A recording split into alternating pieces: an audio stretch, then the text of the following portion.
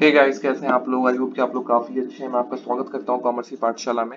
और जैसा कि आप अपने स्क्रीन पे देख पा रहे हैं, आज मैं बात करने वाला हूँ classification of non performing assets के बारे में। तो नॉन परफॉर्मिंग एसेट्स के कितने सारे टाइप्स होते हैं, इसके बारे में हम बात करेंगे। बट उससे पहले मैं कुछ चीज़ें आपको बताता चलूँ की आप चाहें तो हमारे चैनल का मेंबरशिप का प्लान ले सकते हैं। जिसके लिए आपको करना क्या होगा, आपको हमारे चैनल पे आना है, सब्सक्राइब करना है, बेल आइकन को दबाना है ताकि आपको नोटिफिकेशन मिस ना हो। उसके बाद आपको इस ज्वाइन वाले बटन के ऊपर क्लिक करके इग्नो बीकॉम में जाना है और फिर इस ज्वाइन वाले बटन के ऊपर क्लिक करना है, जिसके लिए आपको हंड्रेड एंड नाइनटीन रुपीज़ जो है रिकरिंग पेमेंट के रूप में देना होगा। इसके बहुत सारे बेनिफिट्स हैं बट ये पेमेंट करने के बाद आप सबसे पहले हमारे चैनल को ज्वाइन कर लीजिए, हमारे व्हाट्सएप ग्रुप को ज्वाइन कर लीजिए, जो कि एक्सक्लूसिवली बीकॉम के स्टूडेंट्स के लिए बनाया गया है। यहाँ पे बेनिफिट्स आपको मिलेंगे, आपको असाइनमेंट जो है फ्री ऑफ़ कॉस्ट मिल जाएगा। उसके अलावा आपको लो कॉस्ट नो, नोट्स मिलेंगे ठीक है? उसके अलावा आपको 24/7 सपोर्ट मिलेगा जब तक कि आपका कोर्स कंप्लीट नहीं हो जाता। तो this is a huge thing I guess जैसे कि आप ट्यूशंस पढ़ते हो ट्यूशंस में भी आपको फाइव हंड्रेड रुपीज़ तकरीबन हज़ार रुपए पर महीने पे करने पड़ते हैं। यहाँ पे आपको वो सब कुछ नहीं करना भाई यहाँ पे बस आपको जो है वन हंड्रेड रुपीज़ आपको पे करना है बस और कुछ नहीं करना है ना? तो सिंपल सा प्रोसेस है ये आप कर सकते हो। इसके अलावा मैं चाहूँगा कि आप जब भी स्टडी करें हमारे चैनल पे आने के बाद ये जो प्लेलिस्ट है प्लेलिस्ट में डायरेक्टली क्लिक करें यू you नो know, उसके बाद जो भी वीडियोस होगी वो एक एक करके चलनी स्टार्ट हो जाएँगी। तो प्लेलिस्ट पे क्लिक करके अगर आप स्टडी करेंगे तो आपकी यू नो तैयारी ठीक तरीके से हो पाएगी। ठीक है ना? तो चलिए फिर टॉपिक की तरफ़ चलते हैं which is about the classification of non performing assets so let's talk about it Now, the banks are required to identify the quality of the assets of the bank for the evaluation of bank's performance है ना तो bank के performance को check करने के लिए जो banks होती हैं है ना उनको एक तरीके से अपनी दिखानी होती है कि उनके पास जो assets है वो कितनी quality की है लाइक वो कैसा काम कर रही है आपने लोन दिया वो लोन का रिपेमेंट किस तरीके से हो पा रहा है ये सारी चीज़ें जो है आपको एक तरीके से रिकॉर्ड में रखनी पड़ती हैं और यू नो know, दिखानी पड़ती है so as per the recommendations of the Narasimha committee Narasimha committee जो कि रिज़र्व बैंक ऑफ़ इंडिया के द्वारा बनाई गई थी उन्होंने कहा redefine the non performing asset and advise all the commercial banks to classify their advances into four broad categories that is standard, substandard, doubtful and loss assets. तो उन्होंने कहा, जो नरसिम्हम कमेटी थी, आरबीआई की, उन्होंने कहा कि आप अपने नॉन परफॉर्मिंग एसेट्स को चार भाग में बांट दो। पहला भाग होगा स्टैंडर्ड दूसरा होगा सब स्टैंडर्ड तीसरा होगा डाउटफुल चौथा होगा कंप्लीट लॉस लॉस एसेट तो ये चार भाग में उन्होंने बांटने के लिए बोला था। The standard assets are treated as performing assets and the remaining three categories are treated as non-performing asset. तो जो स्टैंडर्ड एसेट होगा, उसको हम बोलेंगे परफॉर्मिंग एसेट बाकी तीनों को हम बोलेंगे नॉन परफॉर्मिंग एसेट्स तो नॉन परफॉर्मिंग एसेट्स के तीन पार्ट है। Substandard, doubtful, and loss loss assets. है ना? Therefore, banks are required to classify non-performing assets further into following three categories based on the period for which the assets has been remained non-performing and the stability of the dues है ना तो depend करता है कि आपको कितने दिन से पैसे नहीं मिल रहे हैं उसके बेसिस पे आप अपने एक तरीके से डिसाइड करोगे कि आपका जो लॉ जो एनपीए है वो सब है वो डाउटफुल है या फिर लॉस एसेट है तो ये एक तरीके से आपको डिसाइड करना है on the basis of their you know performance ठीक है? तो पिक्चर में यहाँ देख लो एसेट पहले पिक्चर ही देख लो। पिक्चर में देखो, सबसे पहले समझ में आ जाएगा एसेट जो है दो तरीके का है परफॉर्मिंग और नॉन परफॉर्मिंग परफॉर्मिंग को हम लोग स्टैंडर्ड एसेट बोल रहे थे। नॉन परफॉर्मिंग में तीन तरह के एसेट आ जाएँगे सब स्टैंडर्ड डाउटफुल और लॉस ठीक है ना? तो ये तीन यहाँ पे भी लिया हुआ है सब स्टैंडर्ड एसेट डाउटफुल और लॉस एसेट्स ये सिर्फ़ और सिर्फ़ नॉन परफॉर्मिंग एसेट्स की बात हो रही है। Non standard sub standard asset की बात हो रही है स्टैंडर्ड एसेट की बात नहीं हो रही है। स्टैंडर्ड एसेट जैसे चलता है, वैसे चलते रह रहा है। पैसे भी रिटर्न पे मिल रहा है रीपेमेंट रीपेमेंट भी ठीक तरीके से हो पा रहा है। यहाँ पे हम बात करेंगे एनपीएस के बारे में। तो स्टैंडर्ड एसेट तो सिंपल सा मैंने आपको बताया जिसमें कोई इशू नहीं है, जिसका एसेट जो है वापस पैसा जो है ठीक से, ठीक तरीके से आ रहा है, कोई दिक्कत नहीं हो रही है रीपेमेंट में उसको हम स्टैंडर्ड एसेट बोलेंगे। इसके अलावा एनपीए के बारे में हम बात करेंगे। सबसे पहले स्टैंडर्ड एसेट देख लेते हैं। So a standard asset is a performing asset standard asset जो होता है, वो परफॉर्मिंग एसेट होता है, वो ठीक तरीके से परफॉर्म कर रहा होता है। It generates continuous income and repayment and when they fall due है ना? इस चीज़ का पेमेंट जो है, बहुत ही जल्दी हो जाता है। जब भी ये ड्यू पड़ता है सपोज़ आज का डेट है, इसको पेमेंट करने का। मैं एक दिन पहले ही, आज के दिन के पहले मैंने पेमेंट कर दिया। मैंने जो भी मेरा ड्यू था, उसको मैंने क्लियर कर दिया। तो इस तरह का जब चीज़ें होंगी तो उसको हम स्टैंडर्ड एसेट बोलेंगे परफॉर्मिंग एसेट बोलेंगे। क्योंकि जो मैंने लोन दिया था, जो एज ए एसेट मैं ट्रीट कर रहा हूँ वो उसका रिपेमेंट जो है ठीक तरीके से हो रहा है। तो वो मेरे लिए कौन सा एसेट हो गया? वो मेरे लिए हो गया स्टैंडर्ड एसेट ठीक है? सच एसेट्स कैरी है normal risk and are not NPA in the real sense तो ये जो एसेट होता है इसमें थोड़ा बहुत रिस्क तो होता ही है क्योंकि हो सकता है अभी नहीं, अभी पेमेंट कर रहा है, बाद में ना करे।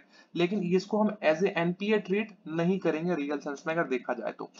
Therefore no special provision are required for standard assets तो इस केस में आपको किसी भी तरह के स्पेशल प्रोविजंस को एक तरीके से यू नो इस्तेमाल करने की आवश्यकता नहीं है। अब बात कर लेते हैं एनपीए के बारे में नॉन परफॉर्मिंग एसेट्स के बारे में। So substandard इसका एक कैटेगरी है So a substandard asset was one which was classified as NPA for a period not exceeding two years. तो दो साल से कम का अगर समय है जिसमें रीपेमेंट आपकी नहीं हुई है with effect from uh, 31st March 2001 तो उसे हम कहेंगे substandard. A substandard asset is one which has remained NPA for less than less than or equal to 18 months 24 नहीं 18 महीने, यहाँ पता नहीं दो साल क्यों बोल दिया। तो 18 महीने या उससे कम अगर आपका पैसा फंसा हुआ है किसी चीज़ में तो हम उसको सब स्टैंडर्ड बोलेंगे, क्योंकि दो साल क्रॉस नहीं हुआ है। दो साल जैसे ही क्रॉस हो जाएगा, उसकी कैटेगरी बदल जाएगी। So in such cases the current net worth of the borrower guarantor और the current market value of the security charge is not enough to ensure recovery of the dues to the bank in full तो इस case में जो recovery है, उसको आप like कर पाना तुरंत पॉसिबल नहीं है, आपको ज़रूरत भी नहीं है, क्योंकि ये सब स्टैंडर्ड है। ये पूरी तरीके से लाइक अगले अगले स्टेज में नहीं पहुँचा है है ना? तो ये बात होगी। अगला है डाउटफुल एसेट्स मतलब अगले स्टेज में पहुँच गया, है ना? So before thirty first March 2001 a doubtful asset was one which was remained NPA for a period of exceeding two years. तो कोई भी ऐसा अमाउंट कोई भी ऐसा रीपेमेंट अगर आपको पिछले दो साल से नहीं हुआ है 2001 के पहले की बात कर रहा हूँ तो उसको हम बोलेंगे डाउटफुल एसेट्स लेकिन 2001 के बाद नियम बदले हैं, दो साल से घटा करके उसको 18 मंथ कर दिया गया है।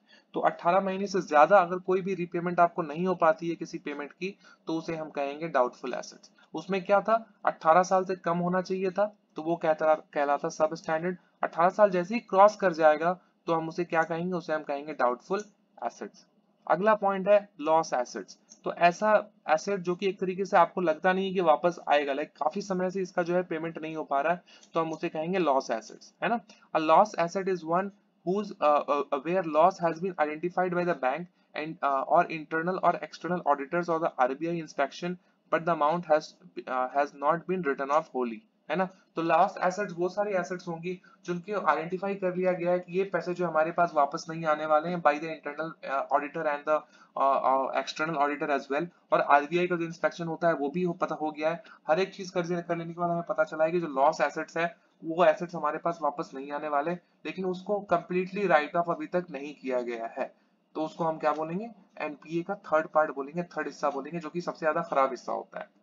नाउ टाइप्स ऑफ़ एनपीएस तो एनपीएस दो तरीके के होते हैं NPAs are broadly divided into two types gross NPAs and net NPAs so gross NPA किसे बोलेंगे नेट एनपीए किसे बोलेंगे ये भी जान लेते हैं so gross NPAs are the sum of the total all loan assets that are classified as NPA as per the RBI regula uh, guidelines on the balance sheet तो बैलेंस शीट डेट पे जब आप balance sheet ready कर रहे हो उस time पे जब आप देख रहे हो कि आपका जो ग्रॉस एनपीए है वो कितना है ग्रॉस एनपीए बोलेंगे किसको वो सारे लोन एसेट्स जो आपने दिए थे किसी को, लेकिन वो पैसे जो है आपको वापस नहीं मिले हैं। तो according to RBI guidelines as on the balance sheet date the amount that you have not receive till that particular date that amount will be called gross N P S ठीक है ना? So gross NPA reflect the quality of the loan made by the banks तो जो bank के द्वारा loan दिए गए थे वो क्वालिटी शो करता है ग्रॉस एनपीए जो होता है, वो उसकी क्वालिटी शो करता है कि जो आपने लोन दिए थे। It consist of all the non standard assets like sub standard doubtful and loss assets इसमें वो सारी की सारी कैटेगरी आ जाएगी ग्रॉस एनपीए में वो एनपीए की सारी कैटेगरी आ जाएगी, जो कि एक तरीके से डिटरमाइन की गई थी बाय द नरसिम्हम कमेटी चाहे वो सब स्टैंडर्ड हो यू नो डाउटफुल हो या फिर लॉस एसेट्स हो। ठीक है? नेट एनपीए क्या होता है भाई?